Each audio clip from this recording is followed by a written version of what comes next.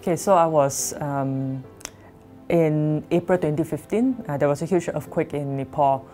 Um, so within 48 hours, we within 48 hours we had an advance team heading to Nepal. Uh, that advance team included me and another two more volunteers. Um, the role of an advance team for us is to is to do a site visit on which is the which is the best site for our medical teams to be deployed. So before even deploying the medic, uh, before even deploying the uh, advanced team, we already had a medical team on standby. Um, we already have ready supplies for, for distribution on site. The, the supplies include um, emergency food and non-food items. Um, so when we were in Nepal, everything was still in a mess because it was uh, less than two days of the disaster. We see a lot of shelters put up, but the shelters can never be, the shelters are not enough compared to the people who were displaced. Um, there were people still asking us for help. There were uh, a lot of people who were desperate um, and in need of um, food items, shelter, and also medical items. Uh, when we sent our first team to Cox's Bazar, that was in 2017, um, we actually had, um, when I was there with my team, we actually, we actually saw and witnessed a lot of people who were walking down into Cox's Bazar. Um, we went to a camp that had actually about 20 families and we decided to do uh, food distribution at the area. The next day we went there and we saw, and we saw two, more than 2,000 families there. Um, so when we were there, it was very fluid. Um, we did not know how to, uh, it's very hard for us to predict what will happen. Um, the, the situation was um, quite vital because the, the people were coming in thousands and tens of thousands and at the peak we actually uh, we actually get to see 600,000 people in a, in a small camp in Cox's Bazar.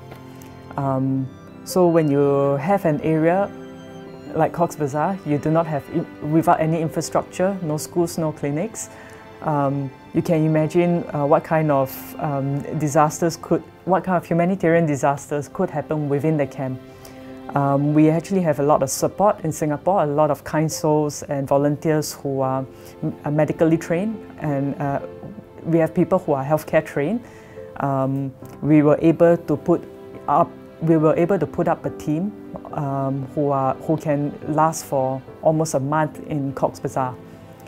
Um, so uh, that team can would, would be able to, at that time would be able to see about 300 people a day. Um, mostly facing, uh, most, most of the people are facing uh, difficulties because of the heart, because of the heart condition in the camp itself. Um, of course, uh, I would, it, it's also very, we, we were also very thankful to have the support from the Bangladesh Red Crescent, um, the IFRC and the ICRC for their support. Within the Red Cross movement, we share information with each other um, we were able to share our plans to, to, to, to be able to work as a big team. And I, I think that that's a, a very good advantage as working, uh, to be working together. We have a very challenging 2018. Uh, we have a lot of, we have earthquakes and floods that were affecting us. Um, just within just within a period of six months, we had a, a total of 50 volunteers who were responding to disasters in four to five countries. The countries that we re respond to include Laos, Myanmar, India, Indonesia. Of course, the, the biggest disaster that we all remember in Indonesia was the Palu earthquake. And um, we had a team that, go on the, that went onto the ground uh, within 48 hours. Uh, when we went on the ground, um, we realized that there were people who are uh, who a lack of food and non-food items. Their home were washed away. Um, they, they have lost their schools, they lost their hospitals, common facilities. And in a very short period, we have to provide for so many people who are needed. needed. I've been responding to many disasters in the past seven years of my career in Red Cross. In every mission, I have faced many, uh, many sad stories. And every sad stories uh, would affect me emotionally even when I come back to Singapore.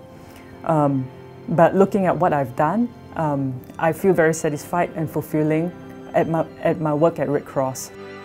During the 70th anniversary of the Singapore Red Cross, I would like to thank the volu our volunteers and our members for supporting Singapore Red Cross. I'm, I'm referring to the volunteers who are on roster with us um, during our disaster missions, those who have sacrificed their time, their efforts, and sometimes their life to support those who are in need. Um, of course, there are many volunteers in Singapore Red Cross who have supported us locally, um, those who support us in first aid coverage, uh, those who support us in transport aid, and also those who support our thrift shop or even our flag days. Without their support, nothing can be done.